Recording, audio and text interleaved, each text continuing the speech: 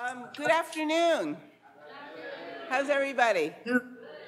Good. Well, I am delighted to welcome everybody to the third panel of this amazing symposium, Confronting Racial Capitalism, the Black Radical Tradition and Cultures of Liberation.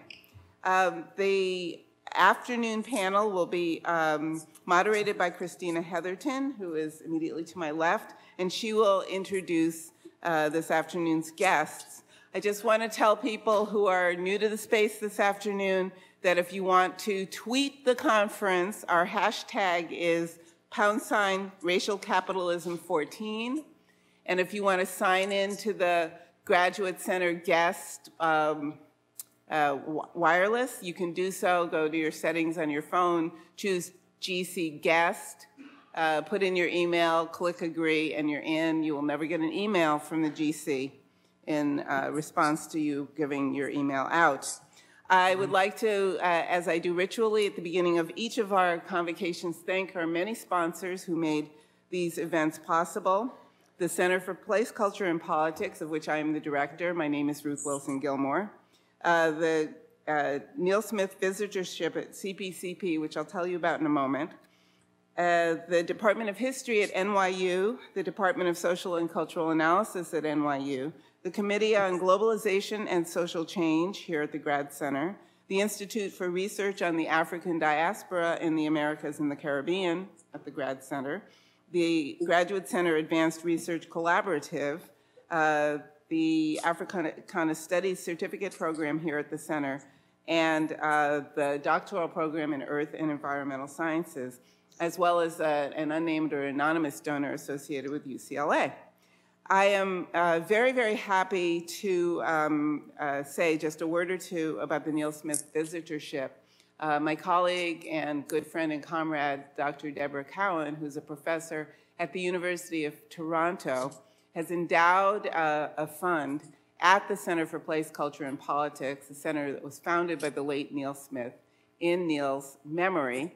And what its purpose is to do is to as it were, bridge the gap or the divide, neither of which I actually believe in, between activism and academia, activism and academia by enabling some activists from somewhere out there in the world to take a sabbatical, have some time to think and regroup and refresh and spend some time here in New York where we will learn from each other. Our first two visitors are coming from Brazil, from the uh, landless workers movement, um, and I think they're due to arrive in January and will be with us for a year. Uh, we've just passed also the, the commemoration of Black Consciousness Day in Brazil, so all of the stars seem to be aligning. And uh, this event, the symposium for two days, is the kind of big launch um, to bring to people's consciousness the Neil Smith visitorship and to start us on the important and difficult discussions we have about what is to be done. So without further ado, Christina.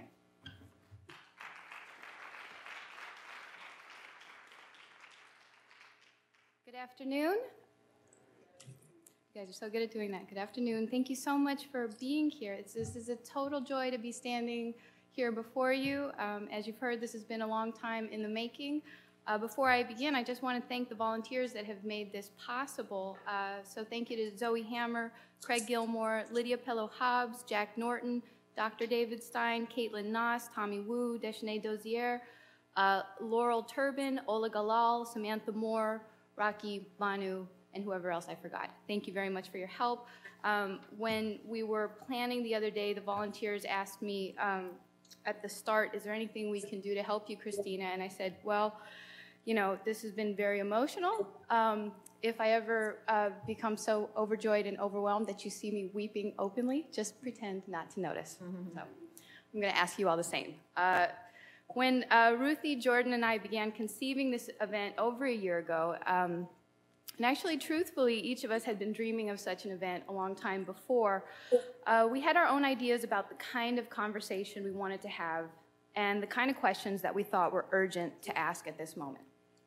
So it's been a surprise to us uh, looking up a year later to see not only did we get the people that we wanted in the room together, uh, but that um, people are also expressing a lot of excitement to be a part of this conversation. Uh, in the very first 48 hours after this event was announced online, um, the digital announcement had, uh, um, had thousands of hits. Uh, so before it ever began, this was the most popular event the Center for Place, Culture, and Politics had ever put on, by according to online measures. Um, I'm, I'm just curious, how many of you heard of this event on Facebook? Okay, all right. Um, the announcement, as people have told me, has passed through a lot of circles of scholars, activists, organizers, not a few Angela Davis fans, not a few haters, but also a lot of friends, uh, many, many times over. I mention this because I want to take seriously the fact that we've hit on some kind of nerve.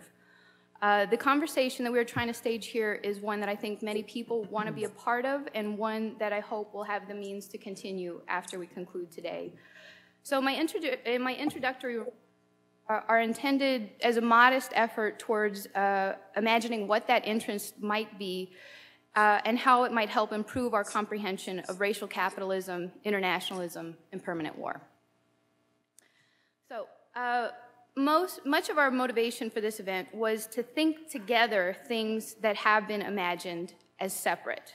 And what do I mean by this? Looking at the landscape of struggle around the world, it often appears that global movements for justice fall uneasily into two discrete camps. There are those that are avowedly anti capitalist or anti neoliberal, uh, particularly anti austerity movements in places like Greece, Chile, Quebec, Portugal, and others. And there are also movements against racist state terror in places like Palestine, Rio de Janeiro, Syria, Ferguson, Missouri, right here in New York City. From where we sit in the US, it is often extraordinarily hard to imagine uh, these struggles, the self professed struggles against austerity, capitalism, and neoliberalism, and those against racist state terror as easily converging. Their self descriptions, their points of emphasis, the ways in which they locate power, uh, their analysis of change, they're often presented as quite different and often incompatible, and this is a problem. And this is obviously not to say that there's never interaction between these movements. Certainly, this room is full of people who have, shall we say, mixed affiliations. Um, still, our analysis seems to drag. Our conceptions are not keeping pace with the transformations around us.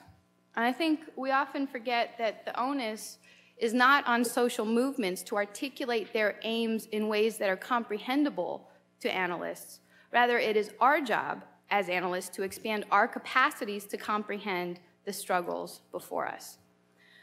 Part of the problem, if I may be, if I may be uh, so bold, is that I think we're often content with half truths and half explanations, uneasy and unsure sometimes about where the rest of the explanation might lead. For example, we're often able to talk about race without class, imperialism without capitalism, transnationalism without internationalism, I've been struck, for example, about the ongoing discussion of the drug war uh, and the revived discussion of the brave journalism of Gary Webb, um, and how this conversation still evades the bigger question of the legitimacy of U.S. militarism. Who were the Sandinistas, and why did the U.S. want to crush them? In fact, who was Augusto Sandino? Um, how did he oppose U.S. military intervention in the early 20th century? And why is it that when we think of the ongoing drug war, that we're not always also thinking of the long history of anti-imperialist resistance to U.S. capital throughout the Americas? Race without class, imperialism without capitalism, transnationalism without internationalism, these disarticulations abound. But I want to be clear that these are not merely misunderstandings or simply stubborn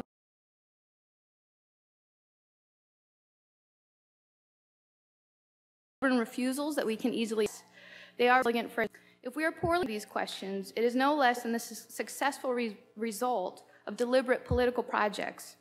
These, these, these disarticulations are not only intentional they're at the very heart of counter-revolutionary strategy they're decidedly counter-revolutionary disarticulations but for those of us who are students of the people on this stage or at this conference, we understand how these forces must be understood together. That capitalism requires a violent production of difference, an ongoing and ceaselessly violent process, processes which are often hard to see, for as Cedric Robinson reminds us, these are processes hostile to the very exposition. As the last panel informed us, determining who has access to land, resources, food, and freedom, who is depicted as being qualified to have that access, let alone control, uh, is itself a process of warfare.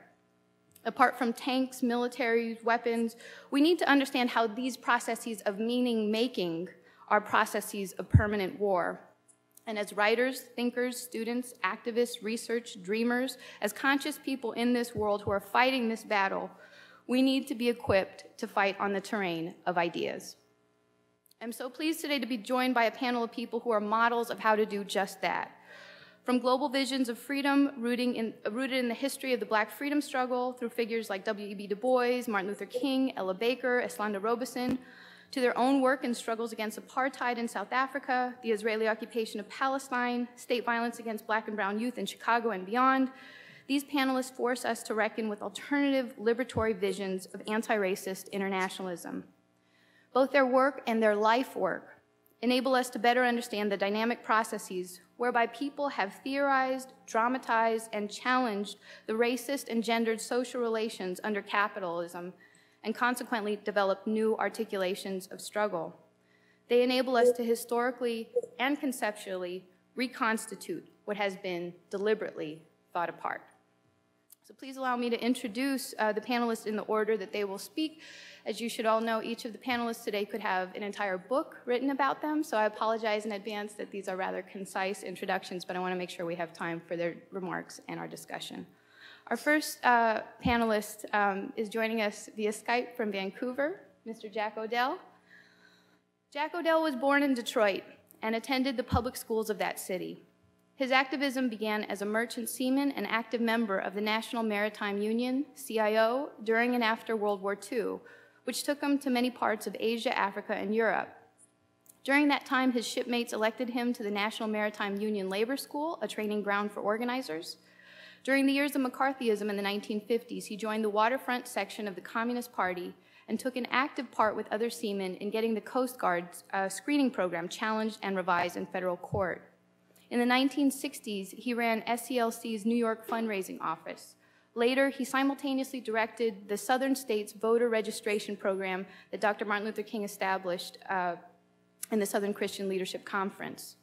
In the wake of the 1976 Soweto uprising in South Africa, Reverend Jesse Jackson asked him to set up an international affairs department for Operation Push, um, and later the National Rainbow Coalition. In 1977, the National Board of Pacifica Radio, the oldest uh, listener-sponsored radio network in the United States, elected him its chair, a position he would hold for the next two decades. He and his fantastic wife, Jane Power, now live in Vancouver, British Columbia, and in recent years have been active as consultants to the Institute for Community Leadership, a Seattle-based youth leadership development organization. Uh, and he continues to uh, mentor activists and organizers um, everywhere. And in fact, I bring, I bring greetings from organizers uh, from Skid Row, Los Angeles, uh, who um, say that their interactions with Mr. O'Dell has transformed their lives. Barbara Ransby is an historian, writer, and longtime activist. She is a professor of African American Studies, Gender and Women's Studies, and History at the University of Illinois at Chicago, where she directs the campus wide social justice initiative and is the former chair of the Gender and Women's Studies program. She previously served as intern vice provost for planning and programmings. Uh, she is also the author of the highly acclaimed biography, which you should all read if you haven't already, Ella Baker and the Black Freedom Movement, A Radical Democratic Vision. The book received eight national awards and a number of other recognitions, including the Outstanding Book Award from the Gustavus Myers Center for the Study of Bigotry and Human Rights in North America. Her most recent book is the fantastic uh, and prize-winning Eslanda, The Large and Unconventional Life of Mrs. Paul Robeson. Her publications appear in numerous scholarly and popular, popular publications and lectures worldwide. She serves on several editorial boards, including uh, the Black Commentator and Race and Class. Um, in the summer of 2012, she became the second editor-in-chief of Souls, a critical journal of Black politics, culture, and society. She has been deeply involved in many progressive political and community-based struggles and campaigns over the years and has been recognized with numerous awards for her community service and activism. And finally, Nikhil Pal Singh. Uh, Nikhil is a professor of social and cultural analysis and of history at NYU. He is also the director of graduate studies in social and cultural analysis His work appears in influential venues, including American Quarterly, Radical History Review, American Literary History and Social Text, where he's a member of the editorial collective. Uh, he is the author of the award-winning Black Is a Country, Race and the Unfinished Struggle for Democracy, uh, and edited and wrote the introduction, which is, I think, one of my favorite things that's ever been written, to uh, Climbing Jacob's Ladder, the Black Freedom Movement writings of Jack O'Dell. He is currently completing uh, an amazing uh, new project called Exceptional Empire, Race and War in U.S. Globalism, which is forthcoming from Harvard. Um, in 2012, he participated in a delegation to Palestine with the U.S. campaign for the academic and cultural boycott of Israel, um, and has subsequently produced writings and analysis which have been really critical to that study. Finally, it'd be no understatement to say that this event would certainly not have come into fruition without his support and his patience. So please help me in welcoming um, all the panelists and Jack O'Dell who will begin.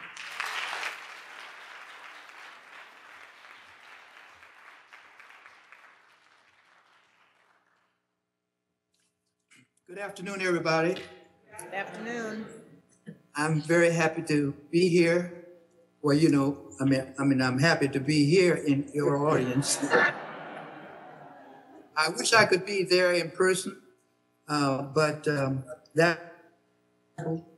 But I want to thank uh, all of the organizers for making it possible to have this wonderful conference dealing with our history and our future, our vision and our commitment.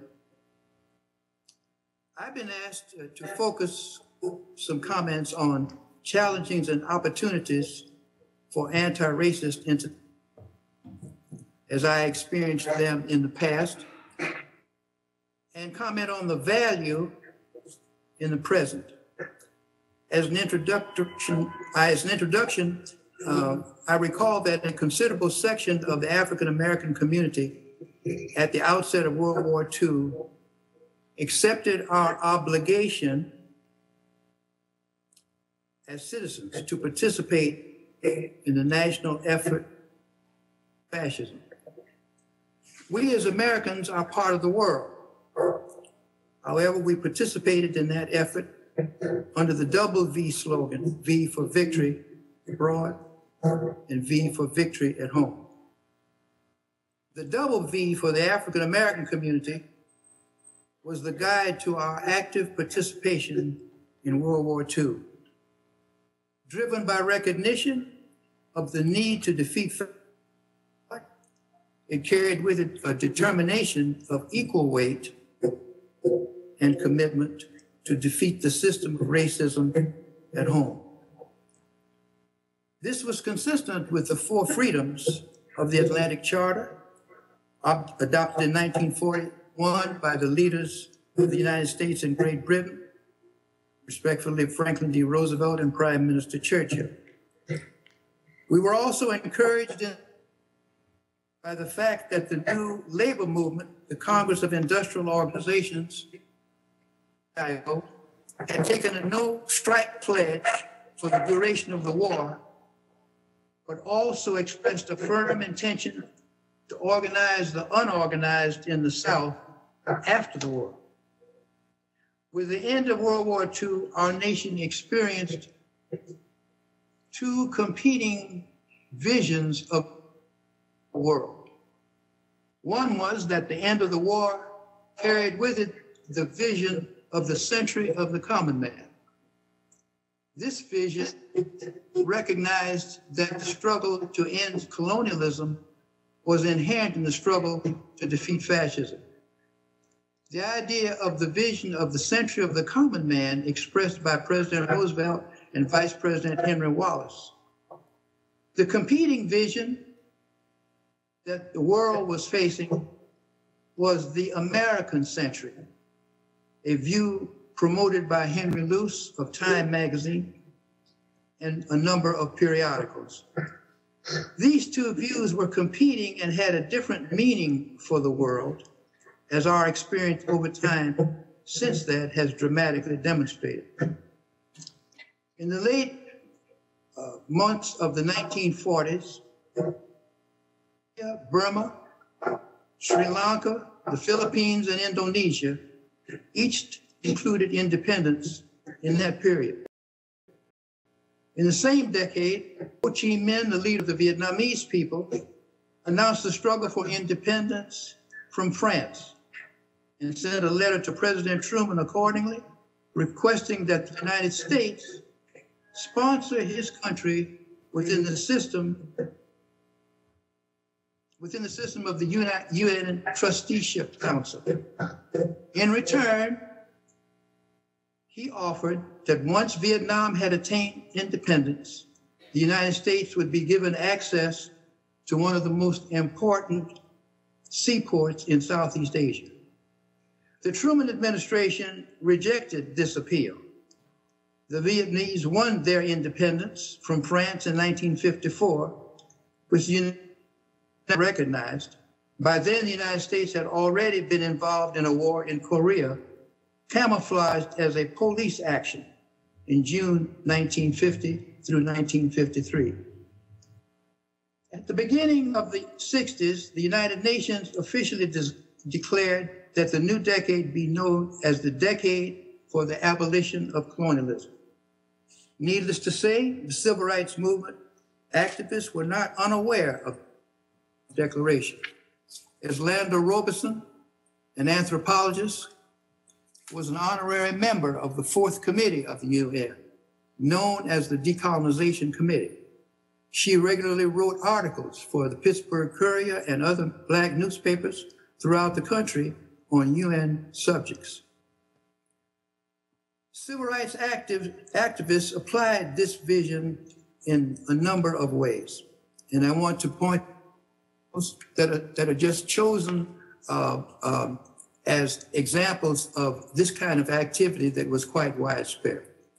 Diane Nash Bevel, a freedom movement writer, freedom writer for Nashville, and member of SNCC, went with a small group of Quaker women to North Vietnam at the invitation of the Vietnamese to take note of the destruction of their country by the United States in the early 60s. Women for a Meaningful with, with Coretta Scott King, part of their uh, delegation, Swint sent a delegation to Geneva where President Kennedy and Premier Khrushchev were meeting. Great Britain, the peace movement, for several years held an annual Easter March for nuclear disarmament, a march to the nuclear weapons lab at Aldermaston. The U.S. peace movement's annual spring mobilization, usually held in April, consisted an American adaptation of what the British had done to protest the war mania. This event grew steadily each year during the 60s. In April 1967, Dr. Martin Luther King joined the annual peace demonstration a few days after delivering his historic Riverside Church speech, the full text of which was published in Freedom Ways magazine. The, the full text of, uh, published in Freedom Ways magazine also reached uh, a French uh, audience and other anti-colonials through the regular exchange that we had uh, with the magazine Présence Africaine in Paris. The anti-war movement continued to grow and gather strength as the foreign policy accelerated this unjust war in Vietnam. Active participation included Women's Strike for Peace, the National Council Clergy and Laity Concern, the American Indian Movement, District 65 in New York, Labor, and the Progressive National Baptist Convention, a, a predominantly black uh, organization of ministers from around the country. By 1969, an estimated 4 million people were engaged in the annual mobilization for peace as they began to, um, as they Sorry. By 1969, an estimated 4 million people were engaged in this annual mobilization for people, peace, uh, and they marched in 1969 not only to Washington, but in the cities rather than in our own cities rather than coming to Washington. The 1970s was, was a deep-seated uh, uh, uh, opportunity that arose for very important um, anti and pro-democracy demonstrations.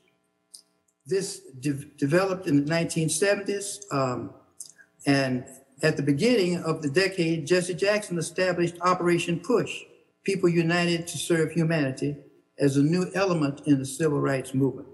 And with a clearly defined foreign policy position, having established a foreign policy, a foreign affairs, international affairs department, the first among, among organizations. The growth of the anti-apartheid movement in South Africa, and particularly the June 1976 Soweto Township massacre of children demanding good education, added a new dimension to the struggles for an end to war. The struggle for peace and the struggle to abolish racism was joined in solidarity. The very effective divestment program of the National Council of Churches against apartheid was re-development. The now, the newly famed Congressional Black Caucus focused on stopping this lucrative sale of the Krugerrand in South Africa in the United States. Among the Black Caucus activities in the mid 70s was the issuance of a manifesto calling attention to America's relations with the South African apartheid regime. The document was co-signed by several civil rights organizations who, which were represented on committee.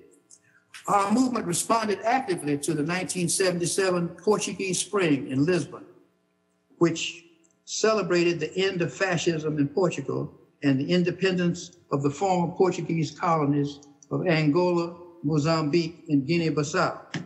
A large delegation from the United States went to Lisbon to share this event and meet the representatives of the former colonial countries, as well as people from around the world. Movement was General Costa Gomes of Portugal was the new president.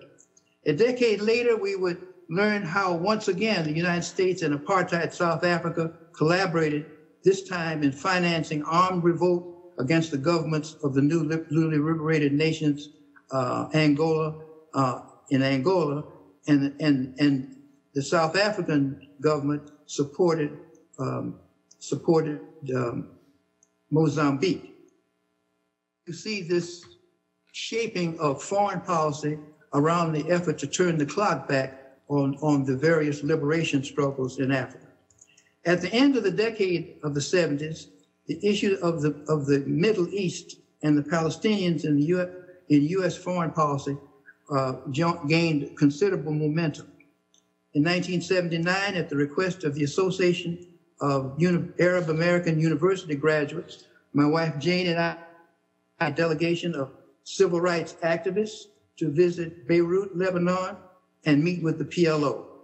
This delegation included Susanna Cepeda, uh, co-chair of Sane Freeze, Reverend B.W. Smith from Buffalo of the National uh, Baptist Convention, and later president of the Progressive Baptist Convention, Tom Porter, chair of Black Studies Department at Ohio State University, Al Gaskins of the National Conference of Black Law Mrs. Jacqueline Jackson, the wife of President of Push, Joel Kugelmass, Executive Director of the Pacifica Radio Network, and several others. We met with Chairman Arafat and other pro and other PLO uh, officials in Beirut and visited Tyre and Sidon uh, in South Lebanon. On returning to the U.S., we arranged to meet with Ambassador at the UN, the Young, to share some of what we had learned about the situation of the Palestinians and the role of Henry Kissinger's current no talk policy in perpetuating their flight. By the autumn of 1979, 350 ministers from many denominations attended a conference uh, on South Africa um, and, and the whole effort to isolate that uh, racist society, held, held it at the UN Church Center in New York. The meeting was co-chaired by Wyatt Walker, former chief of staff for the Southern Christian Leadership Conference, Akatini, the Director of International Affairs of the African National Congress. The central message of their commitment to support disinvestment from South Africa by churches and other groups. And the following year, participants in the entire annual convention of Push in Chicago marched on the South African consulate Mich on Michigan Avenue, demand demanding that it be closed. The Congressional Black Caucus issued a manifesto also and later held hearings policy in the Middle East. The 1980s brought forth four developments of significance in our discussion of anti-war, anti-racist internationalism. In their order of occurrence, the Nation magazine tour of, of NATO countries of Western Europe in 1981, of which I was a member of that delegation, to observe the widespread protest against President Reagan's unilateral deployment of nuclear cruise in Persian Europe, especially the European countries, in the European countries of Western Europe. The largest anti-war demonstration in the history of the United States, June 12, 1982 in New York, was organized in which 800,000 people filled Sheep's Meadow in Central Park. You all remember that? You don't. 1982 in New York, and people in uh, Sheep's Meadow Central Park, while another 100,000 people were left outside uh, and on the, on the, in the various avenues leading from the United Nations Center through up to Fifth Avenue. Uh, this was a historic uh, de demonstration uh, that uh, established that the, that a large strata of the of the people of the United States wanted peace, and that Reagan's precipitous actions that didn't even have support for for most of the uh, most of, of the people in, in, in Western Europe was something that we were determined to oppose. The two presidential campaigns of Jesse Jackson in 1984 and 88 placed the issues of racism, war, and poverty front and center and, and international in scope as he, as he as a presidential candidate visited both Cuba and Nicaragua and brought forward the in the platform committee of the Democratic Party. Women disarmament groups, Catholic University, uh, in this, this, this trip that we made uh, to the, the uh, cities of uh, to the to the countries of uh, Western Western Europe, the NATO countries. Uh, one of the comments that I wanted to call attention to, and that is the Catholic University of, in Holland. When we visited there, um, one of the women said to us, "the, the Nazis came in 1940." and left in 1945. The Americans came in 1945. When are you leaving? the delegations of African Americans from Chicago to the meeting of the Not Aligned conference in Zimbabwe in 1987. One of those uh, very important uh, developments in terms of the commitment and, uh, and uh, growing understanding of the relationships in the world that were taking place. Uh, we had a very sizable delegation from uh, Chicago, made up of many local businessmen, people who helped finance the, the, the, the of heroin, in other words. The connectedness of these events in one decade represents a high water mark in the peace, justice, and anti-colonial movement's efforts to change the nation's foreign policy. And so we see that uh, there are many opportunities open that we that we open by virtue of our activity to guarantee that the justice and peace is able to go forward. For in the last analysis, that is the future of our country. That is the future of the world. Peace is our common humanity's highest expression. Thank you very much.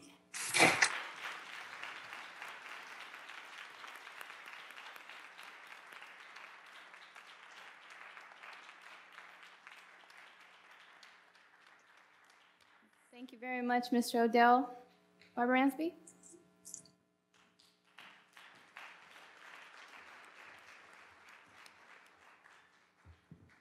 How are you all doing this afternoon?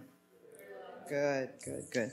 They didn't tell me when I said yes to this that I have to follow Jack O'Dell. Um, humbling.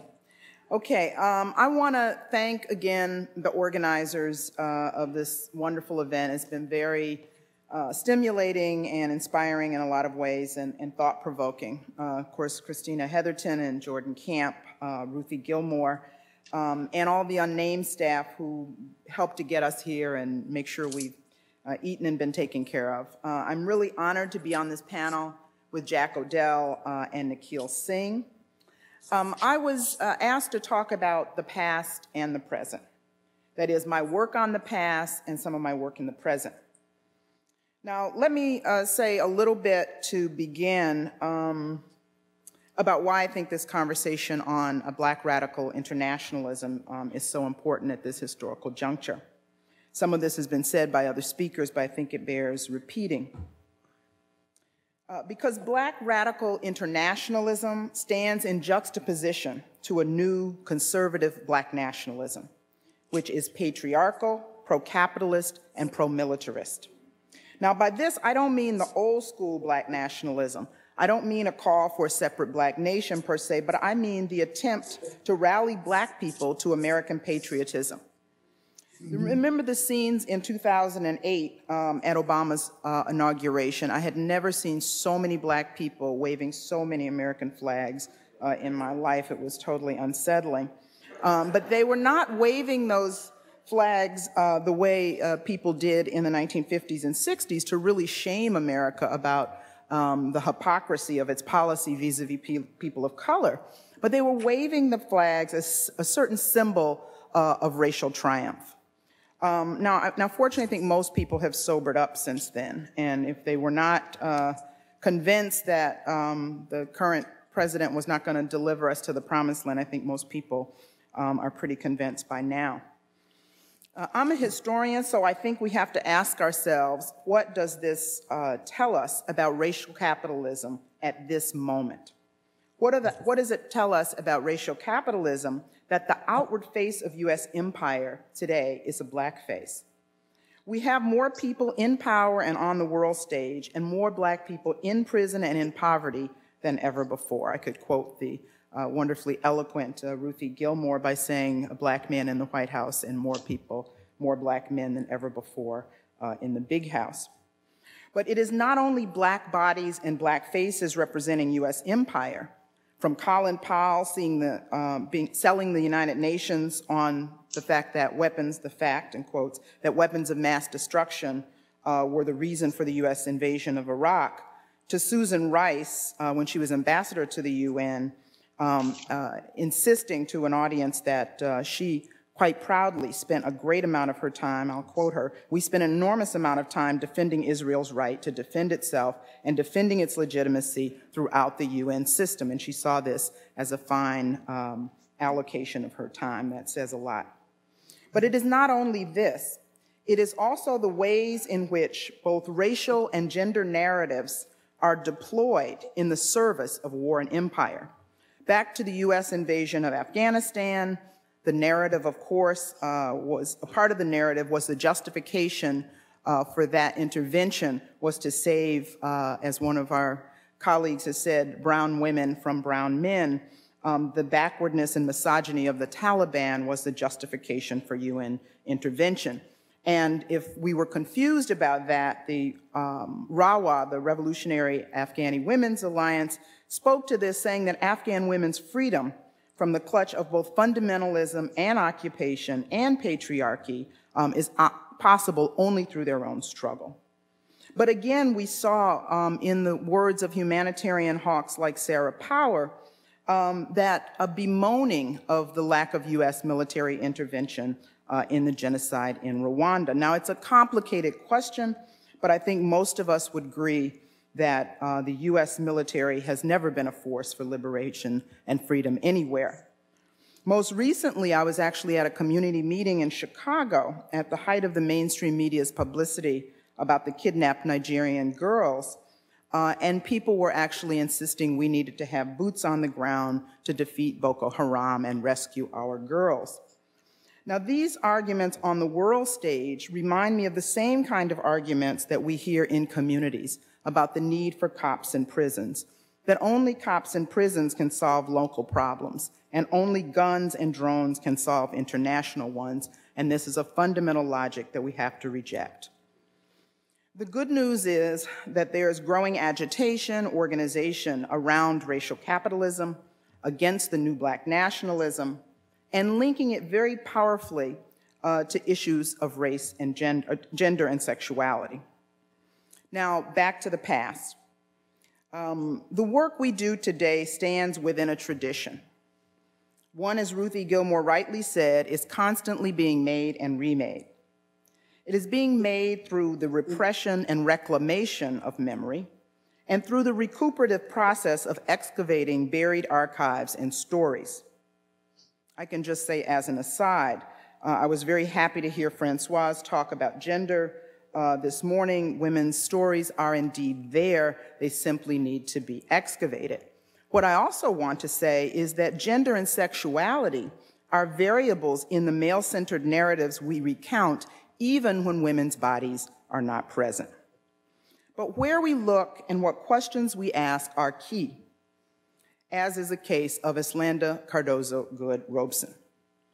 Essie Robeson's story uh, is a story that largely has gone unnoticed.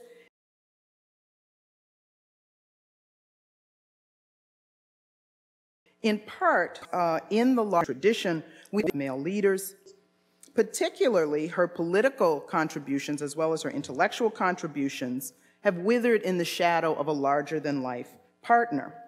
It is, I can't tell you how many times that I began discussions of my project on Eslanda Robeson um, only to be talking about Paul Robeson in less than two minutes.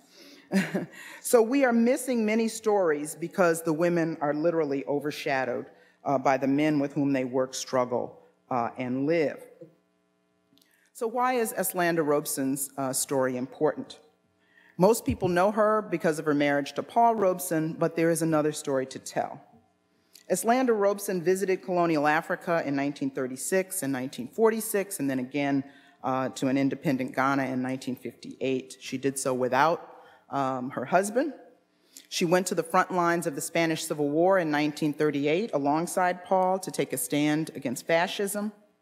She traveled through Nazi Germany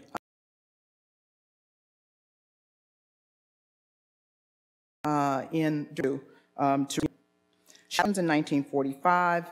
She visited Mao's China a few months after the revolution in 1941. She stood up to defiantly um, uh, Senator Joe McCarthy's committee uh, in 1953. She wrote or co wrote three books and visited over 50 countries in the course of her life. Other reasons I think her story is significant. Essie Robeson and Paul Robeson were unapologetically on the left and allied with the world communist movement during the Cold War. This was dangerous business. In some ways, they were both blacklisted in life and have been blacklisted in history. I see the telling of Essie Robeson's story as a recuperative process uh, to bring her back into the larger narrative of a black radical internationalist tradition. Also, the way in which Eslanda Robeson did her work in the world is important. She did not have the approach of saving the third world or bringing her skills um, and insights to people of Africa and other parts of what we now call the global south. Rather, she located her own intellectual roots in her connections with um, and in the learning situation she found herself in um, alongside Africans. For over 40 years, Essie Robeson navigated a complex marriage as she navigated the cities of Europe and the villages of Africa. Along the way, she saw history in the making emergent fascism, eroding colonialism, and embryonic socialism, and the disintegration of empires. Working over 20 years as a freelance journalist for the United Na- as a United Nations correspondent and writer analyzing international affairs and domestic politics, she wrote literally hundreds of essays and articles and delivered hundreds more speeches and lectures throughout the US and the world. She was unapologetically on the left, rooted in a commitment to African people and concerned with the voice and plight of women. As I mentioned, the first place of Essie Robeson's internationalist awakening was with the African diaspora. It was 1932 in Paris. Uh, that is, her, her engagement with Africa uh, was, uh, came about through a circuitous route. She, she and Paul had been living in London from 1927 to 1939, and in 1932, um, their marriage was going through a difficult time. They managed to get back on track, but she'd actually gone to Paris to uh, seek evidence for, for a divorce. But while she was there, she found much more than the evidence she was looking for. Her escort, confidant, and constant companion that summer was a Dahomean activist, Kojo Tovalou Houénou. How many people have heard of him? Okay, it's always a small, a small number, of course, Robin. You have. Introduced um, Essie Robeson to a group of um, African writers, artists, and thinkers um, who were in Paris at that time. One was Habib Benglia. Um, Habib was uh, an, a, a, dancer and a performer um, from West French Sudan, and his dream was of a global black dance theater that would perform on both sides of the Atlantic. He was bold and irreverent, to say the least. He told Essie in one of her interviews with him, the only troubles Africa has are the sickness, the beasts, and the white man. And the white man is all three, he says. Another woman um, who she met during her time was a lively Martinican um, writer, Paulette Nardal, who some people um, may be familiar with. She also spent time with Ada Bricktop Smith. I'm reminded of the conversation yesterday with Thulani Davis about um, artists and the role of artists in circuits of emancipation. Ada Bricktop Smith was a complicated uh, person, but she had a, a, club in Montmartre, and she became a kind of confidant of Essie's that summer. So, um, in a sense, from the time that of this trip to Paris um, um, until the end of the decade, Eslanda was really on a journey to find her political uh, voice. Soon after, uh, she had this experience in Paris, about which she wrote actually in um, Dorothy West's magazine Challenge. She enrolled in the London School of Economics, and there she met Jomo Kenyatta. She was actually the person that introduced Jomo Kenyatta to Paul Robeson. He was very influential in her thinking. Eslanda wrote about Kenyatta. She says, Before I met Kenyatta, I was studying anthropology and Africa. However, Kenyatta brought it to life for me. He took me out of the textbook into African life itself, and of course, made her want to travel there.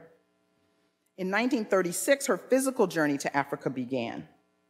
And it was an ominous moment, of course. It was uh, 1936, and Italy had invaded Ethiopia, and this was the backdrop uh, to her first trip to Africa. She went for several months. She went uh, by ship to South Africa uh, and then to Uganda. Uh, she had gone on this research trip at the urging of Zora Neale Hurston. This trip had a powerful impact on her. When she was in South Africa, she visited the famous Robinson Deep mines. She went on a surreptitious visit one day when the overseer of the mine was not there. She actually descended into the mines and talked to and interviewed the miners.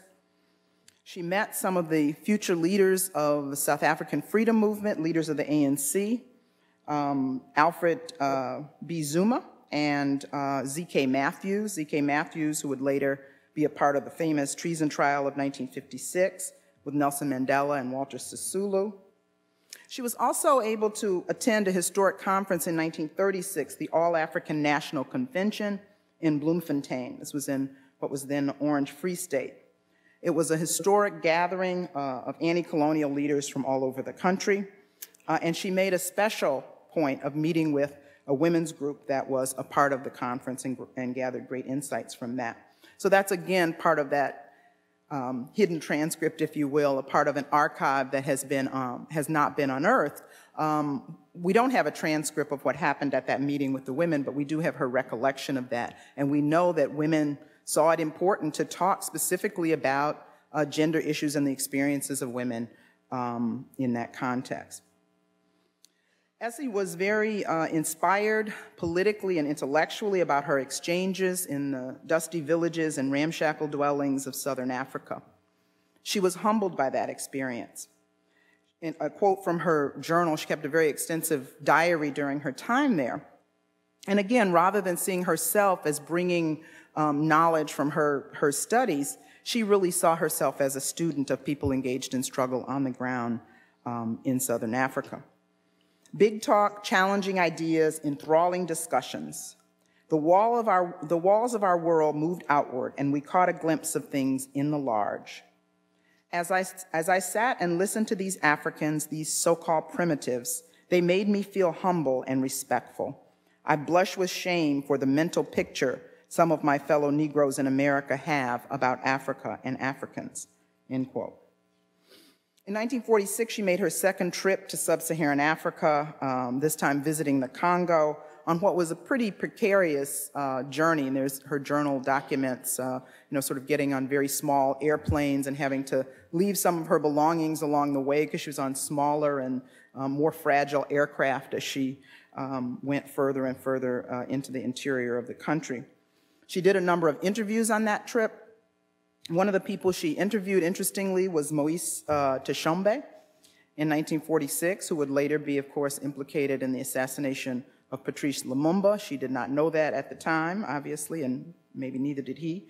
Uh, but she was engaging and interacting with people um, who would be um, really important historical actors later.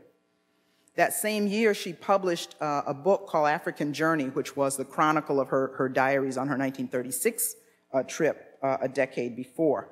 She dedicated that book to the brothers and sisters in her growing political family. You know who you are.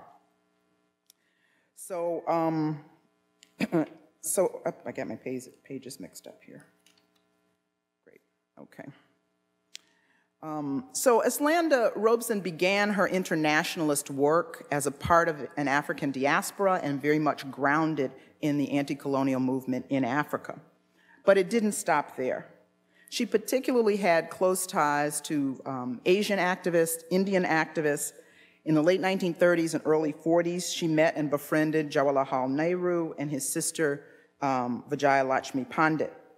In the process, they became lifelong friends. In fact, in the 1930s, when um, Vijaya Lakshmi Pandit's daughters were studying in the United States and their mother was in jail in India for her uh, anti-colonial activities, uh, they stayed at the Robesons' home on weekends and considered uh, Essie a surrogate parent.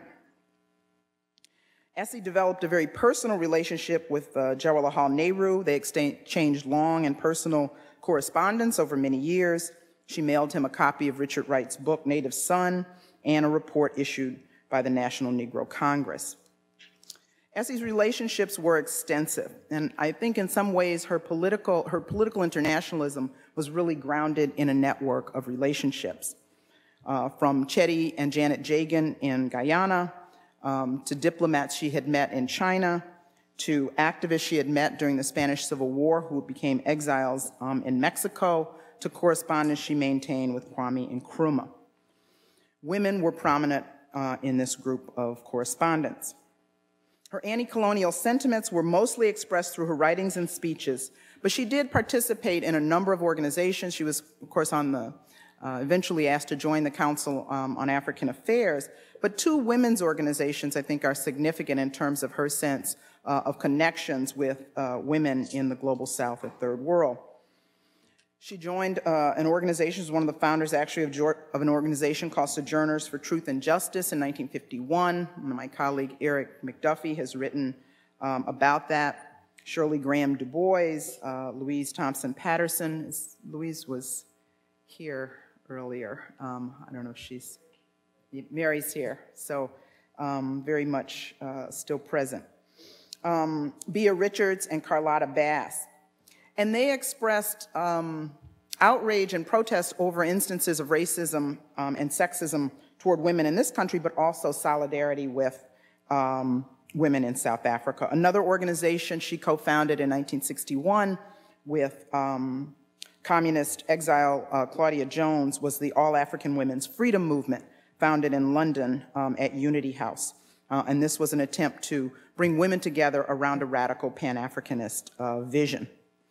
If anyone doubted the seriousness of uh, Essie Robeson's internationalist work, um, if observers did or if historians do, um, the fact that she had a, such an extensive FBI file and also was followed by the British internal security, um, the MI, MI5, which is the British internal security MI6 is the, um, handles foreign relations, but since she was living in Britain at the time, she was followed by MI5 when she traveled through Africa.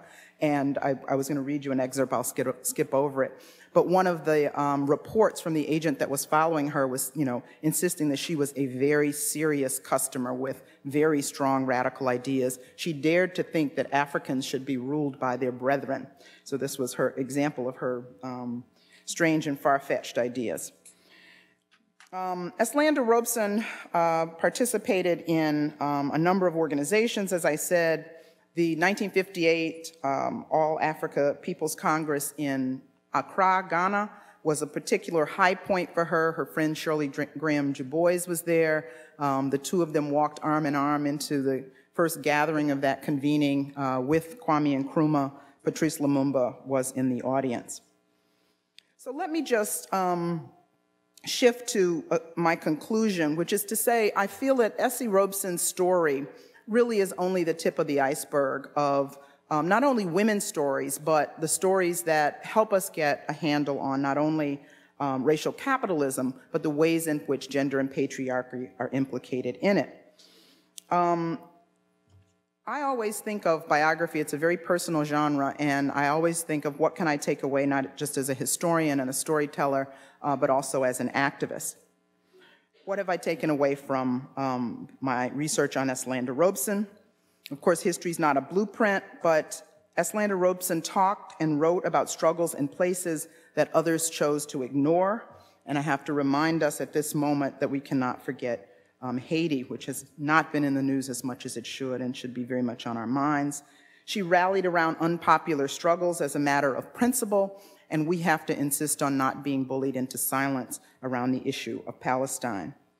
She understood the connections between US oppression and anti colonialism, anti imperialism elsewhere in the world, and in that sense, we have to be concerned uh, about the shanty towns that still exist outside Johannesburg and the prisons with and without walls and the occupied communities here and elsewhere.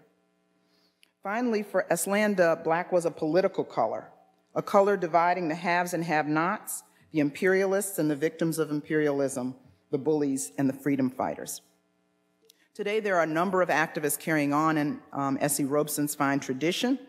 I think I was really um, struck by Ruthie uh, Gilmore's uh, insistent that, that the Black Radical International tradition is constantly being made and remade. So today, many of us who have made a commitment to speak out and organize around the issue of Palestine as a matter of principle um, are doing that and attempting to make and remake the black radical tradition uh, through expressions of solidarity. And that is determined not only by the fact that some of us have gone on delegations, but how we've gone. The delegation that I went on with Gina Dent, Angela Davis, and Rabab Abdulhadi and others um, in 2011 was explicitly looking at the connections between um, the United States as uh, um, having its origins in settler colonialism and Palestine and the reality of settler colonialism there, the occupation there and the occupation um, here. I also want to hold up the work of some amazing young people um, who have uh, really been doing the work of intersectional, intersectional politics, have been doing radical internationalist uh, work in ways that I find quite um, awe-inspiring.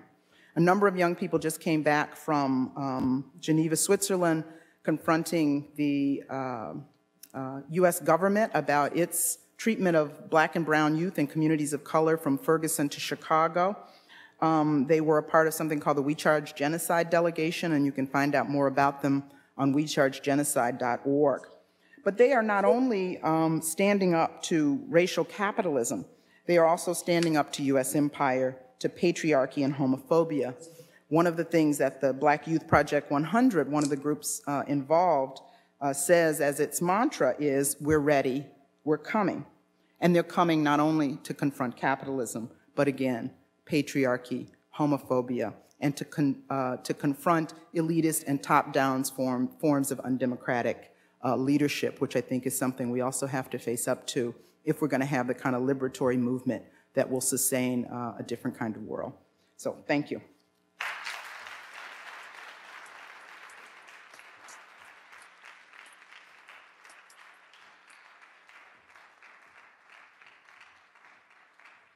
Thank you, Barbara Nikhil Pal Singh. Thank you. Um, Uh, I want to thank everyone um, very quickly. I'm mindful of the time. Thank you, Ruthie, Christina, Jordan. Um, it's kind of, uh, it's a little overwhelming and quite inspiring to be in a room with so many of my uh, intellectual idols and inspirations. Um, not the least of which is Jack O'Dell, and you can see why I had to interview Jack O'Dell for almost five years because he has so much to recount. Um, and uh, the only thing that's worse than going after Jack O'Dell is going after Jack O'Dell and Barbara Ransby. So um, uh, I'm going to uh, frame my remarks today in terms of these three these three kind of concepts: racial capitalism, internationalism, and permanent war.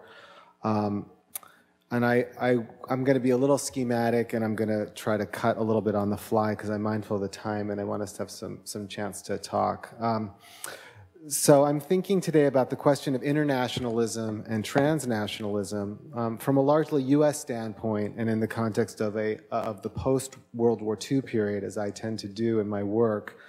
Um, and, and as I will argue, this, is the, this period might be thought of as the proper conjuncture for a decisive reconfiguration of racial capitalism with which we are still contending. Uh, the post World War II period is one in which the valences of internationalism shift as capitalist elites within the world's dominant nation states turn decisively away from nationalism, while organized labor becomes embedded within national welfarist compacts hinged to the global expansion of dominant regions of capitalist power above all in the United States, but also Western Europe and Japan, and to an extent even the Soviet Union, although that's more of a debatable point for us perhaps. Um, it's interesting to consider that this period, uh, one marked by the first sustained coordinated effort to manage racial capitalism on a global scale, is also the period in which racial capitalism decides to simply call itself capitalism.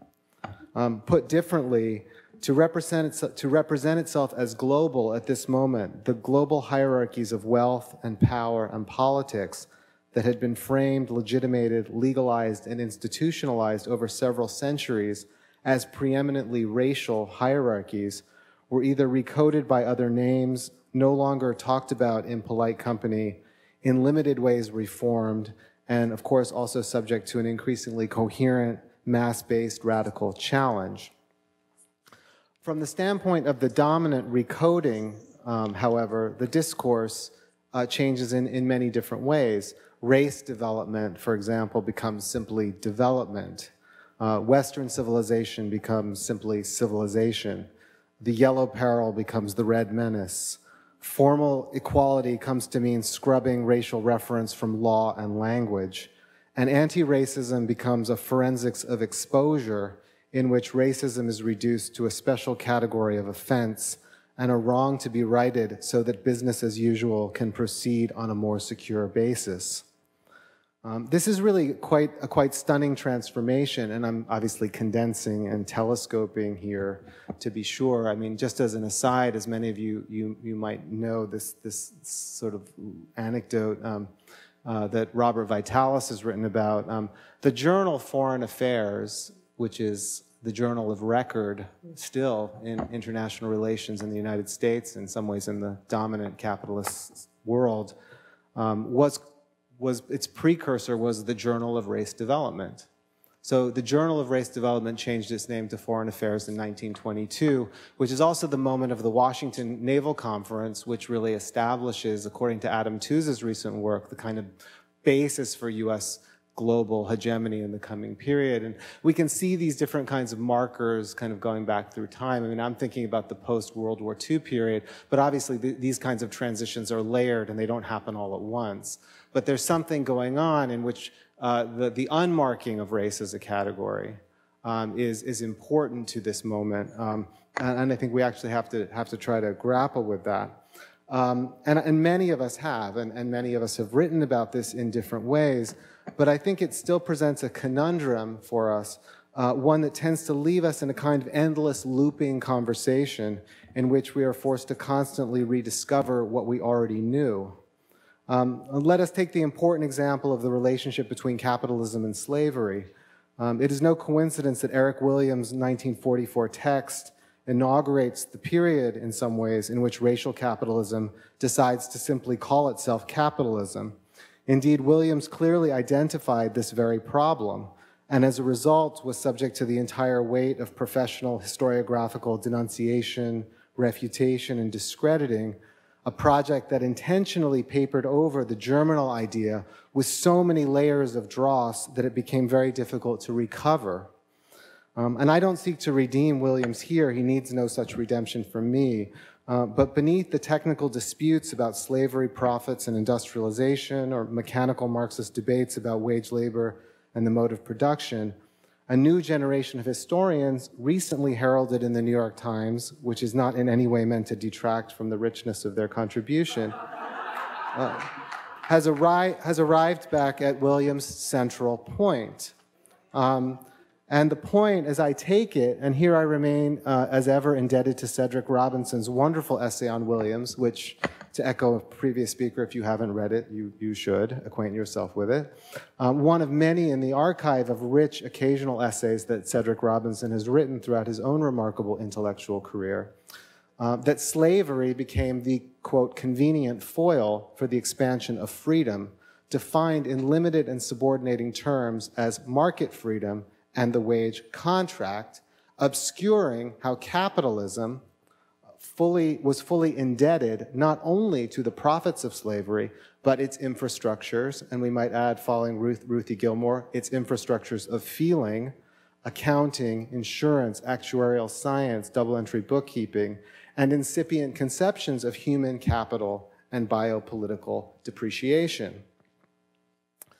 Uh, Williams thus expressly sought to undermine liberal historicism that increasingly cast enduring racial inequalities as the vestiges of a prior era now embodied in the habits and dispositions of the black poor, and to show how assertions of progressivism on slavery, much like the racial progressivism of the 1940s and beyond, was becoming securely hinged to the legitimation and expansion of capitalist state powers and new racial orderings of exploitation and hierarchy. And I'm quoting Williams here just so you don't misunderstand what I'm saying. This is Williams. This does not invalidate the arguments for democracy, for freedom now, or for freedom after the war, any more than it invalidated the struggles against slavery. But mutatis mutandis, he continued, the arguments have a familiar ring we have to be on our guard not only against the old prejudices, but against the new, which are being constantly created. So, the problem we face in arriving back at what we once knew is that we do so at a moment in which racial capitalism arguably has less and less need to conceal its true face anymore, and which, facing multiple terminal crises, is likely to be tempted again toward final solutions. At the very least, the promise of turning segmented race development into a generalized development is no longer even on offer, and the holism that capitalism once embraced against its communist challengers has now returned to a far more open avowal of partition, separatism, and racism once more. It bears saying in this context that there has never been a successful movement that has represented the dispossessed classes in their entirety and in the fullness of their heterogeneity. Though, uh, though the communism of the Third International sought the negation of capitalism, it did not seek the negation of racial capitalism, at least not in its full measure, and thus abdicated or remained at least ambivalent on a fundamental point. After World War II, the movements of the darker peoples, in turn, were largely tethered to the fortunes of the darker and soon to be poorer nations that were gradually forced to cede the international scale to the sovereignty of capital itself. Where these struggles were articulated with anti racist struggles, a broader internationalism of peoples was broached, particularly around the Vietnam War and the struggle against apartheid in South Africa and perhaps today incipiently in the struggle for justice for Palestine. But the goals of radical movements remain largely limited by nationalist horizons, even as capitalism itself now fully transcended them. And I'm not saying the nation state's not important to capitalism, just to be clear. Um, Within the United States, the democratic upsurge of African Americans, which was part of this overall decolonizing imperative, similarly resulted not in the general democratization that its most far seeing visionaries like Jack O'Dell and others sought, but new forms of racial bifurcation in which a limited diversification of the elite marked the outer limit rather than the non racial extension of national welfarist and social democratic forms, and subsequently a sharp return to div- divisive racialist themes in which the punishment of the poor, black, and migrant became a prelude to a more general neoliberal unraveling. The latter has produced a trajectory uh, in which dissimilarities of position among the urban working poor across the world, the vast majority of people on the planet, are gradually diminishing, though in a context in which the prior collapse of radical and labor internationalisms has left us wanting for strategic vision, effective coordination, and holistic imagination. Uh, what we are up against has also not stood still the war for capitalism is still being fought. Um, that, that is, the war for differential advantage and primitive accumulation, or what we might call relative and absolute surplus value, uh, once fought in the name of imperialism, colonialism, and racialism, such terms became temporary liabilities, but the project did not fundamentally change. Uh, how am I doing?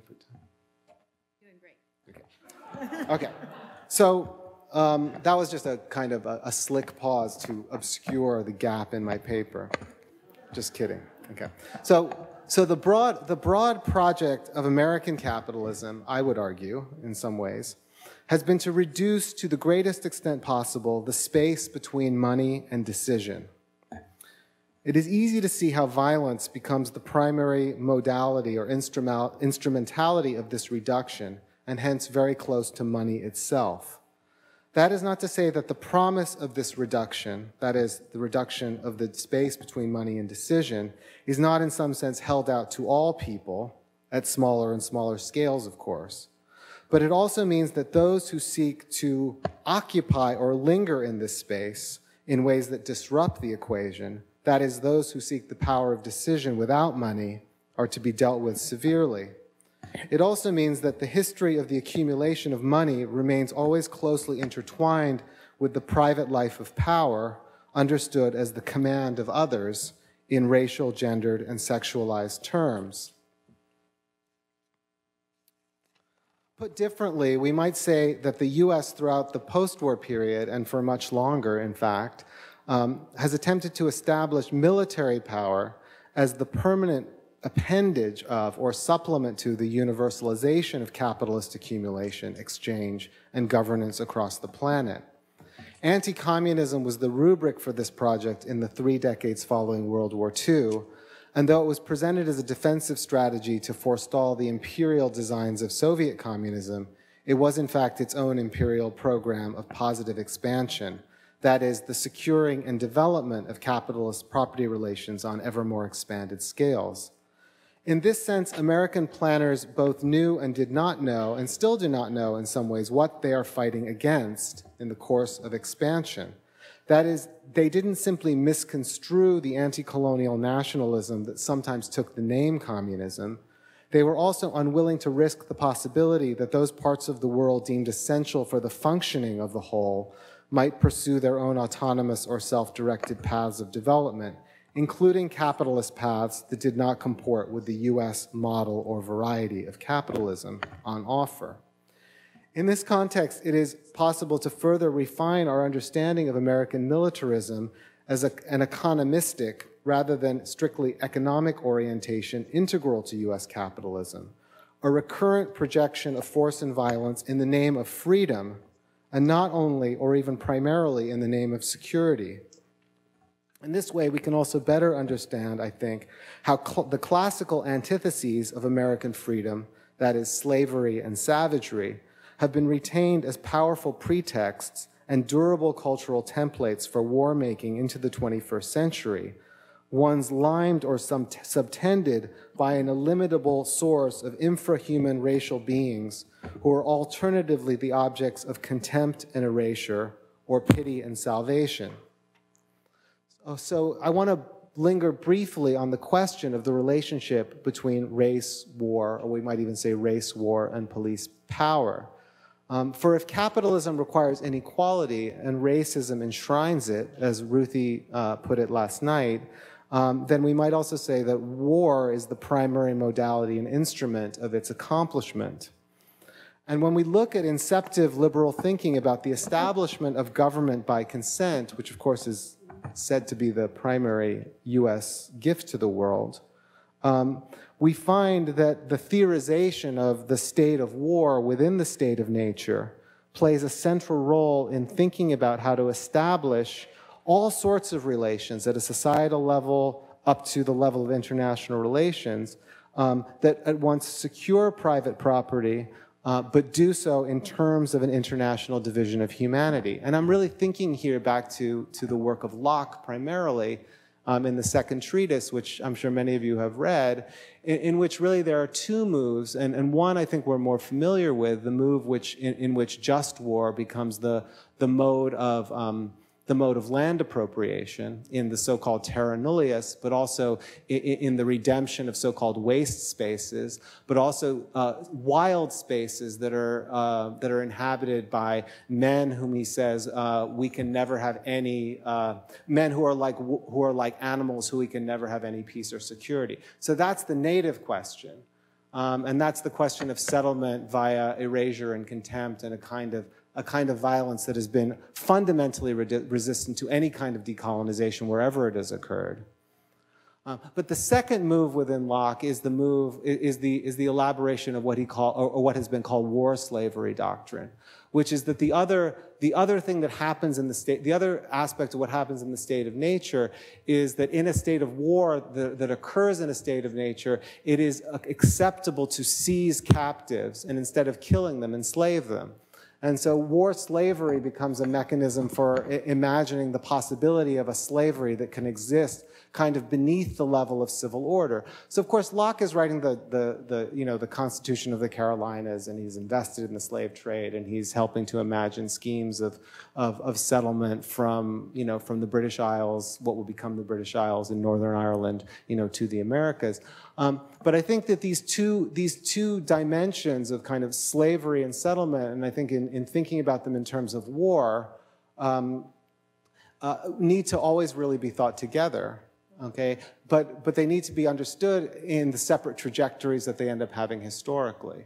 Because the thing about slavery, in part at least, is that it is, it is a humanizing discourse. Um, it's a humanitarian discourse in, in a sense. Um, instead of being killed, people are being captive, made captive, and therefore also being brought into the purview of civilization and a possible future in which they can be um, somehow uh, redeemed even as, as sort of subordinated figures. Um, and I think that, that that's, the doc, that's the logic of racial slavery that then sort of wends its way through a kind of a, an American discourse that says we are, we are here to, for example, liberate the captives you know, from their, their various kinds of oppressors. Um, and it's, it's, it's a discourse of, uh, uh, uh, of, of pity and salvation. But the other side of the, of the discourse of American war making has always been the discourse of, of, of, of fighting savages, which ultimately requires scorched earth and extermination. And they actually exist kind of papered together in certain kinds of ways, and they can be called upon in different ways um, when needed and as needed. So um, I think it's actually important uh, in this moment especially um, to, to bring back these conversations into, a, into the same frame and to remember that when we're, when we're talking about racial capitalism, um, we're, we're, we're, we're, we're not just talking about racial slavery, um, but we were never, when talking about racial slavery, just talking about slavery. We were also always talking about settlement because we were always, in some sense, talking about war. Uh, and about the conjunction between race and war, and the way in which war is the battlefront that runs through, as Foucault says, the entire edifice of what we think of as civil society. And really, there's a whole tradition um, in radical thinking for, for, for the, these ideas, you know, from Angela Davis, importantly, and Ruthie Gilmore in this room, uh, you know, all the way through the thinking of Foucault and Gramsci and, and others. Um, but I, but I, but I think, um, I think that this has, has some potential, at least analytically, for, for helping us to, to think about what we're dealing with in this, in this contemporary moment where the face of American power um, is, is, a, is, a, is a face that is supposed to represent a kind of redemption of the, a redemption from the stigma of slavery. Okay? Um, American capitalism, and here I'm wrapping up in my final uh, couple of paragraphs, uh, learned its chops on the frontier and in the slave market, as well as in the factory and the corporation. Its primitive modes of accumulation in the theft of land and compulsion to labor were renewed and contemporary by the Cold War's globalization of manifest destiny. Um, that moment when Truman's investment prospectus, as Dean Acheson called it, was infused with the moralism of a crusade and the vitalism of a civilizing mission and that Cold War script has been scratched over and recopied many times uh, since then. For developing an optic adequate to understanding the post war structuring of power in these terms, what Cedric Robinson has termed the black radical tradition remains a central touchstone, not out of any sort of romantic fidelity uh, or nostalgia, but because it attempted what to date stands as the fullest effort at sabotaging the twin engines of dishonor and dispossession that still drive the racial capitalist machine. Last paragraph, I promise. The long black freedom movement provided us with uh, the principal dialectical counterpoints to the wasteful and destructive American half century. It did so not only by vanquishing the criminal order of Jim Crow, but by illuminating the history of dehumanization embedded within modern political economy proposing an alternative ethics based upon compassion rather than fear in social interactions among heterogeneous people, and by demanding a departure from imperialist arrogance and colonial, colonial violence in the relationship of the United States to the non European world.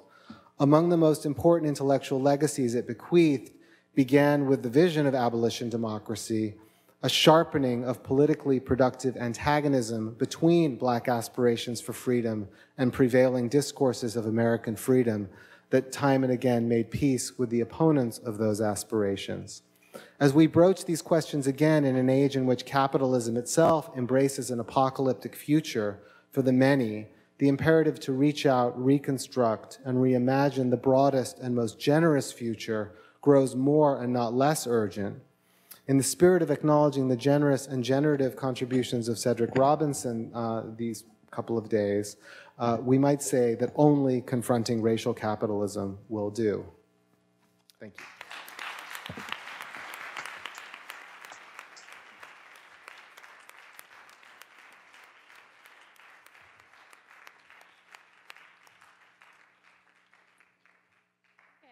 Well, now I have the extremely unenviable task of speaking after all three of them. Um, I'm just going to uh, ask a question, um, and uh, while I'm doing it, you can slowly move to the microphones and think about your own questions. Um, but I was really struck that. Still there? Hi, Jack. Um, I was really struck uh, by um, the fact that this discussion of anti-racist internationalism um, was one of not just interpretation but also rediscovery. Uh, I think all the panelists in one uh, way or another gestured to the fact that we're talking about histories that are occluded, blacklisted, or recoded, uh, so that, as Nikhil said, we are often rediscovering what we already knew. Um, and I uh, was struck by the, the recodings that Nikhil was talking about, racial development being recoded as development, Western civilization as civilization, freedom as market freedom. Oh, he can't hear. Okay, hold that thought. Jack, can you hear me? Yes, I can hear you. Okay, great. Yeah. so um, I, I wanted to uh, I wanted to ask the panel if they could talk about a more contemporary recoding that I think is relevant to this conversation, and that's a recoding of capitalism itself as neoliberalism, which by many accounts often appears as something that uh, David Harvey invented and Naomi Klein seems to have discovered. I don't know if you know that you invented it, David, but that seems to be the consensus. Um, so I'm just curious if the panel uh, can comment on how this specific reinscription, I think often a, a kind of antiseptic uh, reinscription, not by you, David, by others, of capitalism as neoliberalism has impaired, slowed down, or reinterred this uh, history of anti-racist internationalism um, and the kind of uh, ideological production that it's produced.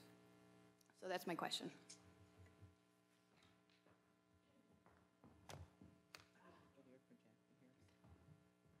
Jack, can you hear us here?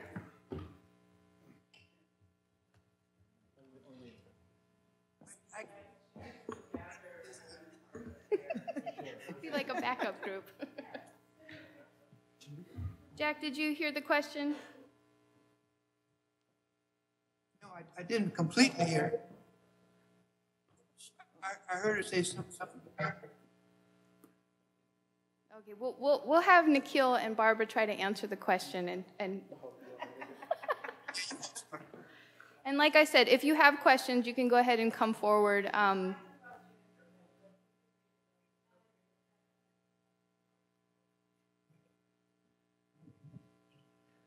Why don't you go ahead and take a seat? Sure, okay. So everybody's thinking. So, Jack, we're going to take some questions from the audience. So, again, if you have questions, please raise your hands or come to the microphone.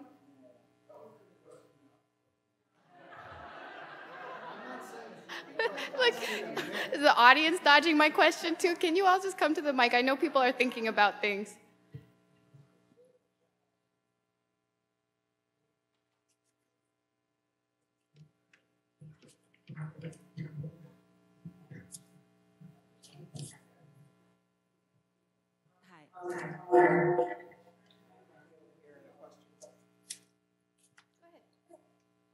Um, so my question relates to food. I was thinking about what Francois was saying um, in the morning panel about um, what's happening right now with the promotion of monocultures is like a war on the poor.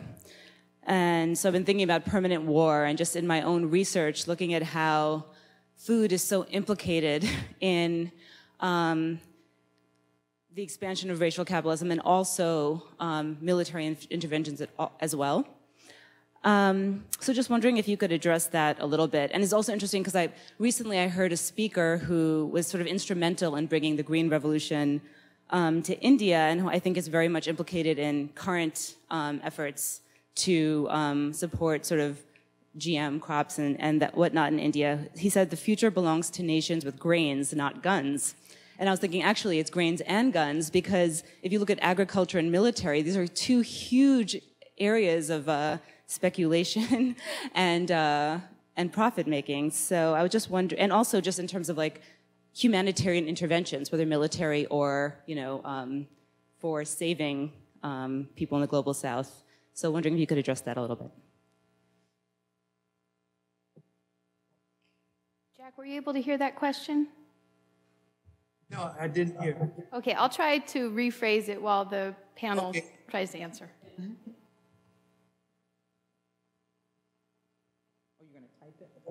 Oh, Let- let one of them- let one of them-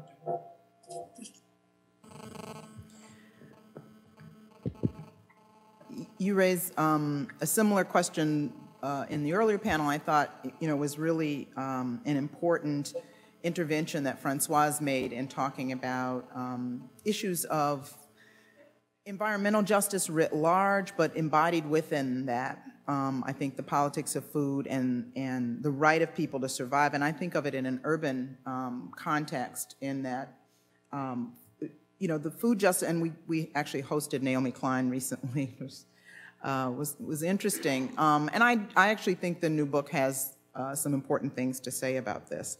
But, you know, the movement around food justice in some ways has um, marginalized folks in urban contexts who are living under a certain kind of occupation which prevents the procurement of food in a very fundamental way. And I think we have to um, both expand in the way that you know a number of people have argued around green economies and thinking of incorporating any kind of economic solution um, to any kind of green solution or green policies to um, economic justice demands in, in the communities that are uh, so direly affected. But also looking at the agency of people who are um, demanding access to food in communities like Chicago and Detroit, where um, you know, Saskia Sassen has this new book about expulsion, you know, that we think of surplus people and surplus people um, you don't have to account for in a whole variety of ways. And I think the denial of access to not just healthy food, but any food um, is increasingly where we are in certain communities, and that that's um, criminalizing survival then when people um, make certain kinds of interventions in order to eat. And so it's not just a question of community gardens, which in some ways accompany gentrification in, in certain communities and becomes a very complex kind of political um, negotiation, but simply the access to, to food. And I think, you know, increasingly it's useful to talk about the ways in which survival has been criminalized, um, particularly in urban communities. Uh, yes, I.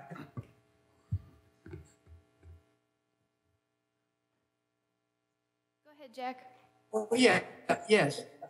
I, I think that, that I think that that's a very, very important observation uh, and one of the things that we um, uh, projected in the Freedom Charter was uh, the idea of an out, outlines of economy of full employment at socially useful work. Um, this idea of, of, uh, of, of food is an integral part of the larger question of what kind of democracy we see. I mean, obviously, we want people to be able to eat healthy food, just like we want them to be have education and health care uh, and, and live in an environment uh, free of, uh, of, of terror and homelessness. So it, it seems to me that these particularities are part of a larger whole that has to be constructed. And we must do, we have to work on the particularities, but at the same time try to fashion a larger frame of reference in terms of the quality of life that we seek for all. I mean, I think that's the fundamental thing. That's the long term uh, proposition that should guide our activity. I'm trying to think about how to answer these two immense questions in a kind of concise, helpful way. Um, you know, one of the things that I, um, I think this is a, a, this statistic is correct, I think the one I'm going to say, which I think that the U.S. Department of Defense, the Pentagon, is the world's single largest employer. I think it employs about 3.2 million people around the world. And we know that um, in all the planning that goes on now in the U.S. military, almost, I would say, 80% of it is articulated in terms of humanitarian projects. Um, disaster relief, uh, famine, uh, climate challenges of various kinds. Um, and, um, and, and, and a lot of the sort of, the sort of large scale planning around that really is about what to do with civilian life, you know, because civilian life is itself a problem. Um, and, and in a manual that I read recently, um, the argument basically goes, uh, civilians will be competing for all the same supply routes um, and, and, and pathways to resources that the military will need to accomplish its mission. So, so just think about the kind of way that works, really. In order to, in order to save civilians, in general from these various calamities, civilians actually have to be either detained or sort of removed or sort of placed to the side so that the military can actually gobble up the kinds of resources it needs. And these are the kinds of visions that are, are sort of out there, right, as a kind of adjunct to disaster capitalism and, and, and to the kinds of crises that it's facing. And they go alongside with the, they go along with the fantasies that among the very rich that that and not just the very rich that they will somehow be able to um, uh, produce a kind of vertical distance from all of this you know that they can just they can continue to fly over they can continue to have things brought into them in sort of safe safe zones. Um, and and to me you know that kind of that kind of mapping or that kind of effort to sort of think about the world we we live in right now is is is really more useful and specific than say the invocation of a term like neoliberalism. Because clearly there's been a tremendous mutation in the way in which capitalist societies organize themselves you know and i think many people have written extremely helpfully about that um, I do think maybe what you were going for, Christina, is the idea that to talk about neoliberalism somehow sort of just naturalizes this sort of idea that, that, that all we ever have is a certain kind of horizon that we can really never think beyond. Whereas, at least in the argument about capitalism, which has always, to, to my mind, been informed by its dialectical opposition, the idea is that capitalism holds holds the sort of seeds of its own undoing in some sense. It's not just this kind of project that is just kind of tinkered with all the time in various sorts of ways. So, um, I mean, I, I, I don't I, I, find a lot useful in the literature on neoliberalism, but I don't I don't necessarily think it's the the most interesting way to talk about what Ruthie calls the anti-state state, or to, to sort of describe the kind of geographies of um, the new geographies of partition, which actually have become much more supple and flexible and, and, um, and, and, movable um, in, the current, in the current moment. Um, and, and all of this sort of begs to me the most important question, which is, I think, what I was trying to gesture at to some degree in my remarks, which is, you know, how do we, how do we think about the scaling up of our own oppositional projects once more. And I'm tremendously struck by, by Barbara's remarks and especially Jack's remarks at just the depth um, and the density of movements um, aware of the international scale and thinking through uh, how to articulate uh, struggles against militarism, struggles against colonialism, struggles against racism in the preceding period. And we, we don't seem to have that kind of density or that kind of ambition um, in our own in our own sphere of activity right now, and I think that's what we we need to be we, we need to be thinking about how to how to redevelop, and we'll always be redeveloping, we'll always be reinventing our tradition, and so that's not the problem, um, but we have to do it.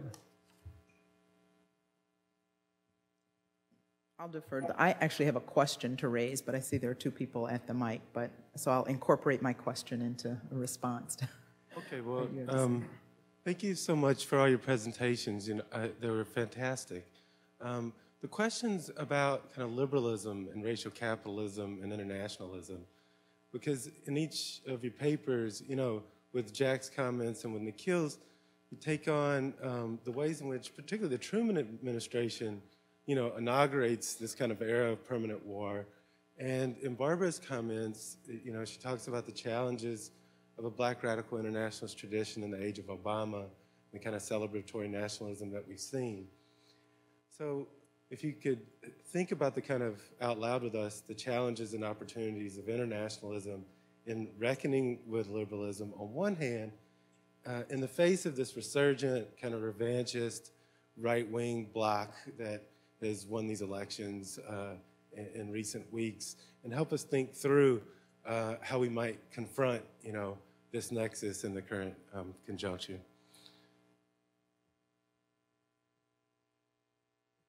I also want to echo uh, the excellent uh, remarks. I believe the, the question that I have is for uh, Nikhil, and it speaks to, I think, a fundamental issue for me, and that is how you confront uh, racial capitalism when it seems that much of our political language, particularly those of us who are stuck in the Western Academy, mm.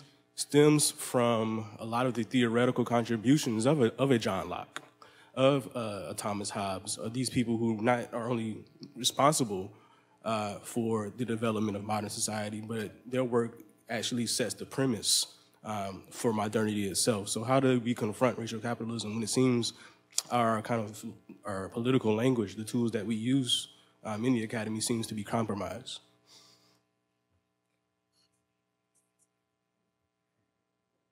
Poets in the room. yeah. Well, I mean, I, I, I do have kind of a response to, to both of those. I directed it toward Nikhil, and I'm sure he'll have a really deep answer in a minute. But, um, you know, I was thinking as uh, Jordan was asking his question, what are the sites of struggle at this juncture? And two things that I've been wrestling with, um, and, and it represents a very ambivalent shift in my own political uh, practice, um, is taking electoral politics a little bit more seriously than I have in the past, and, and particularly on the local level. We almost had um, a very progressive mayoral candidate in Chicago who I had said I would work with, and I've actually never done that before. It was Karen Lewis, the head of the fierce and fighting Chicago Teachers Union that led um, an amazing strike uh, recently and was poised to use a campaign as a strategy for movement building. Um, so that's that's one thing. So placehold that. The other is really thinking more seriously about the work we do in the academy. I think um, for many years I saw my political life as wholly outside of, and I, you know, the less my employer knew about my political activity, the better. Um, and, and I'm still quite ambivalent about how to negotiate that. And a, a group of us are rereading Fred Moten's um, uh, article about the undercommons, the article that led to book about the undercommons, and really wondering how do we understand the role that universities play today, particularly in promoting and defending racial capitalism? And Ruthie has written about this a little bit the diversity industry, the multiculturalism industry, that in a sense it sounds like the opening up of the university. It feels like the concession to the demands for inclusion, but their inclusion on certain terms, uh, going to the brother's point about language that, in, that you have to speak a certain language and you have to operate within a certain logic in order to A, get in, and B, stay in and not be totally out of your mind, but sometimes stay in and be out of your mind. Um, but, but to really look more seriously at the um, sustaining and validating and cover work that happens within universities and particularly within the departments that many of us who see ourselves as radical occupy the interdisciplinary departments that people fought um, to, to, to um, come into the university. And Cedric was interviewed uh, not long ago talking about Black studies and the evolution of Black studies away from um, sites of struggle and connection to struggle, but also now really being places where um, we don't recognize the stories that are told, we don't understand the theories that are formulated, and dare one um, be uncivil, as my um, would-be colleague Steven Salaita was in, in tweeting about Palestine. He was, he was tweeting as Palestinian and was basically denied his job because he stepped out of a certain kind of civil discourse, not even on campus, that is in his um, public life, in his civic life, away from his job. Um, he tweeted things that the university deemed anti Israeli and uncivil, and that became the language for excluding him from the academy. So, anyway, um, I'm just raising that's my question response that here we are in an academic setting. Um, I've always had this uh, healthy or unhealthy ambivalence about my life in the academy, and really no more so than, than these days. But I would be interested to hear what other people also think about how to reconcile that contradiction. Do we, can we only be criminal in the academy, which is how Fred Moten starts that particular article that I'm thinking of. Can we only steal to uh, and become a, a, sort of, you know, um, community of, of, of, refugees in a way uh, to, to do the work, that is to be of and, you know, be in and not of. So I raise that as, I think, a really important question. It's the site where a lot of um, the language and data is generated that supports and, and dresses up and gives a facelift to racial capitalism in some of its most brutal forms, I'm, I'm sad to say. Um, and how are we complicit in that?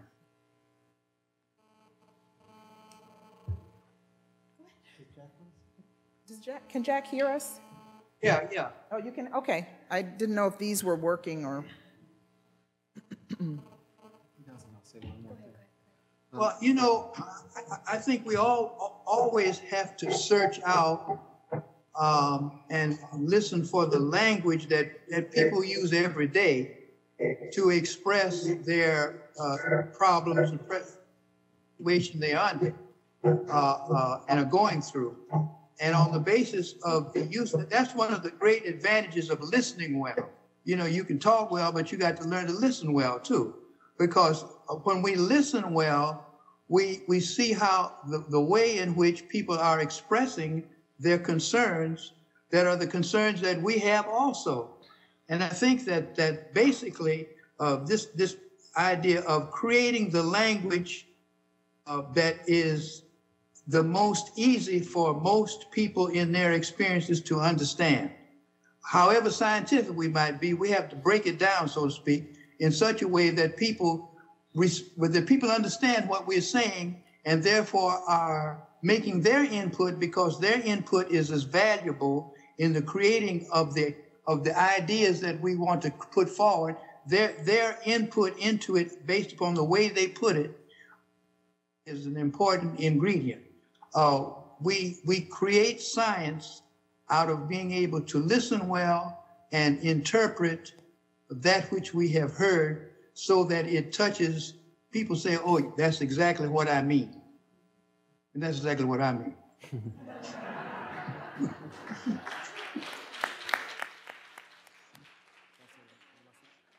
and it's, I, I know we're, we're, we're, at, we're sort of at time almost, but I'll just say one, one last brief thing, which is, um, yeah, I think these are, these are very important questions, and I think we wrestle with them every day. And those of us in universities who are, I think, consumed at a certain stage of our career with um, administering the university and kind of um, helping it to continue to go and have our time and our souls just kind of sucked up by that that kind of activity. Um, have a have us, you know, are confronting something specific about the neoliberal moment, which is really part of how it works, is just by keeping us too busy to do anything. You know, to do to actually take the time to take back time to take back the time that we actually need to have long discussions about things and to um, to really linger and, and listen, as Jack's saying, um, and to learn what we need to learn or to relearn what we what we already knew. Uh, and I think that that's that's a really really challenging thing. And I and since I moved back to New York from Seattle, I know I found that to be uh, really quite dramatic. I mean, I feel like I'm I'm always being time managed and I'm always time managing others you know, okay, I've got, you know, I've got 10 minutes, you know, I'm time managing right now, right? I've got to, um, and it's, and it's a, and it's a kind of, it's a kind of, uh, it's a, it's a, it's a real challenge uh, that I think we, we have to, we have to think about very seriously, how, how we take back the time that we need to do this work and, and give ourselves the time and give ourselves permission to, to take the time. Um, in terms of the, the, the, university, you know, I think the university, I don't think we have to just be criminals. I think, I mean, in Fred's terms, I think, I think we can, we can do what we all try to do is to make the boundaries of the, these institutions, which are becoming more fixed and more uh, impenetrable, um, more porous, more available, more leaky, um, think about how to reapproach, redirect them, um, reimagine the spaces we inhabit as sites of linkage and sites of solidarity. And I think all of us try to do those kinds of work. These are, these are some of the spaces we have that are really quite vital in this moment. I mean, the Grad Center, I meant to say at the beginning, I mean, it's, it's just such a key institution of our city um, and a place where we can do this work. And if we really start doing it work well, you know, and, and, and having the impacts that we want to have, we will have more pressure coming down on us. We'll have more hell raining down on us. Of course we will. But that, that's what we want, ultimately. You know, that's where we want to go. And in terms of, um, you know, the, the master's tools and the master's house, I mean, I, I think there's much to the argument that the master's tools can't dismantle the master's house, but I will say they sure can help.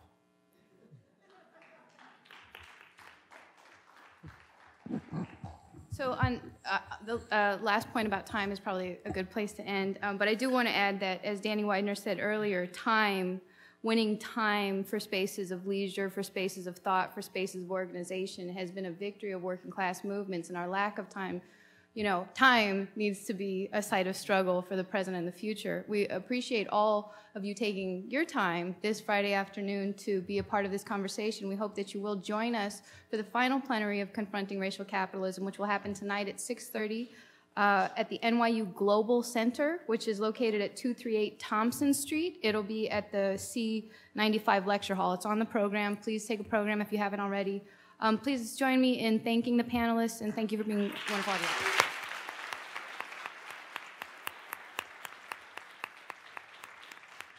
Bye, Jack.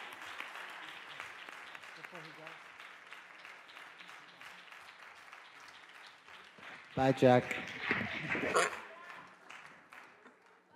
Bye, Jack. Can everybody say bye, Jack? Thanks for joining us, Jack.